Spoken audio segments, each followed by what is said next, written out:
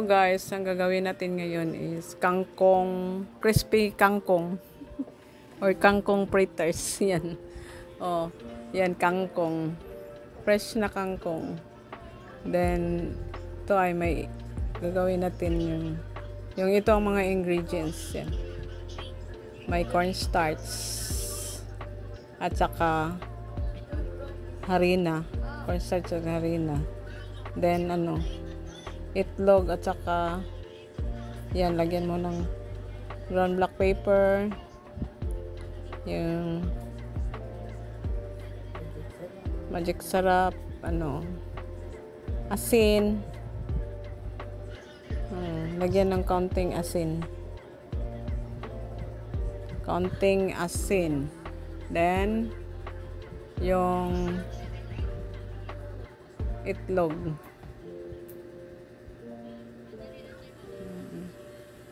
Kung ilan ang ano, harina mo, yan sa dan ano, cornstarch na ilagay mo. Ihati mo yung ano. Then, lagyan natin ng buttercup. Hmm. Yung buttercup oh. Hmm. Lagyan na yung buttercup. Yan ang ano natin.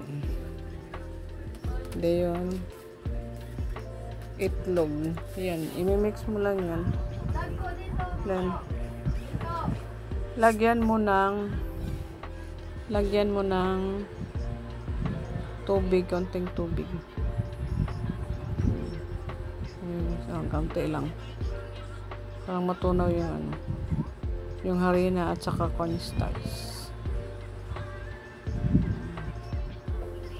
Then, ano na tayo?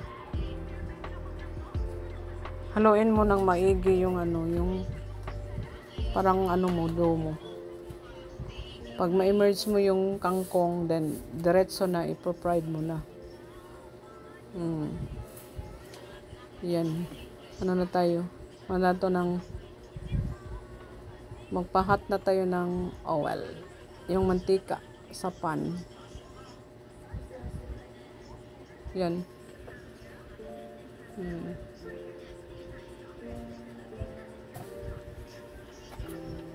Pa-fried na natin yan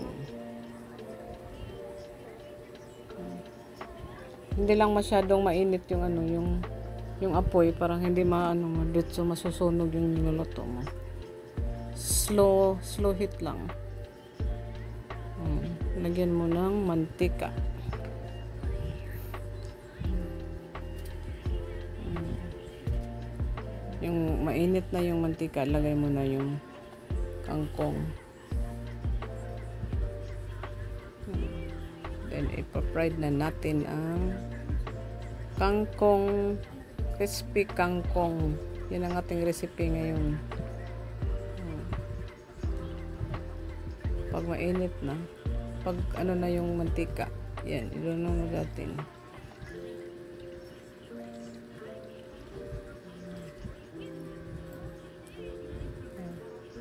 Oh, yan, kangkong i-emerge mo sa ano sa yung ginagawa mong do. Yung cornstarch at saka harina. Kalahating harina at saka kalahating kalahating cornstarch. Yan. Oh. fried na natin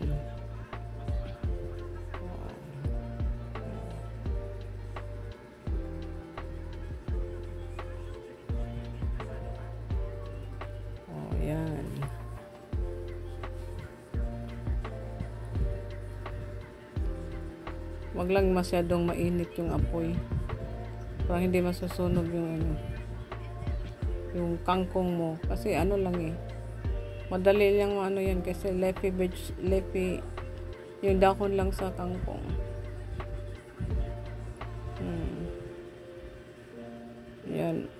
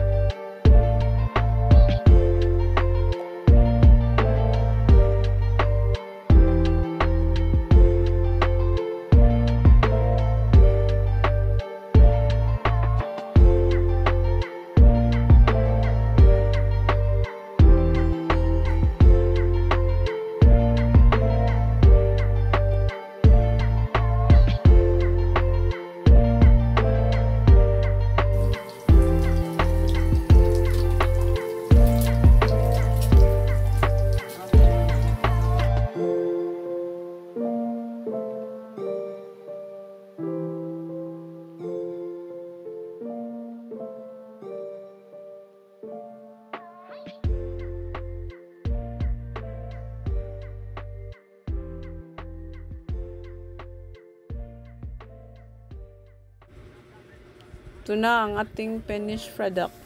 Yan o, gawa tayo ng Thousand Island dressing. Yung ano, pang sauce niya. Ano mo yung sauce sa yung fried na ano, fried nga kangkong. Ayan.